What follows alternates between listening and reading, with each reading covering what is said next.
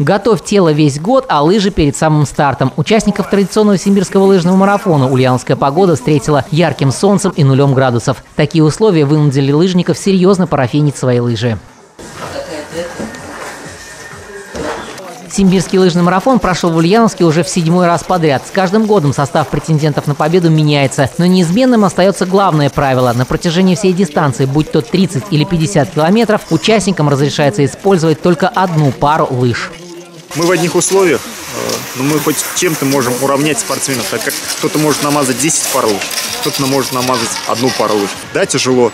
Э, как говорят наши э, тренера, кто меня тренировал, Раньше бегали 70 на одной паре, ничего страшного, были еще тяжелее условия.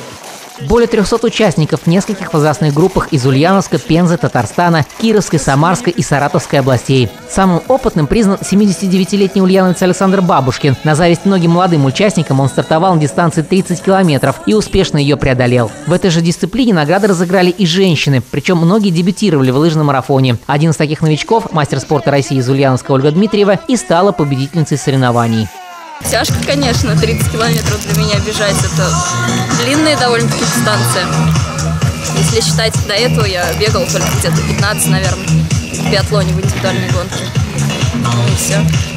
Но главными действующими лицами гоночного уикенда в Ульяновске стали мужчины, которые бежали 50 километров. Новичков среди них также было немало, однако с первых же метров дистанции спор за победу повели корифеи лыжных марафонов. Претенденты на золото определились быстро. В лидеры еще до экватора дистанции вырвались ульяновец Алексей Брындин и опытный Александр Элекин из Татарстана, серебряный призер Симбирского марафона прошлого года. Большую часть гонки они шли рядом, однако после 40 километров Элекин создал себе отрыв и финишировал в гордом одиночестве. Его преимущество над ближайшим преследователем Алексеем Алексеем Брындиным составила около трех минут. Это первая победа Элекина в рамках лыжных марафонов в Ульяновске.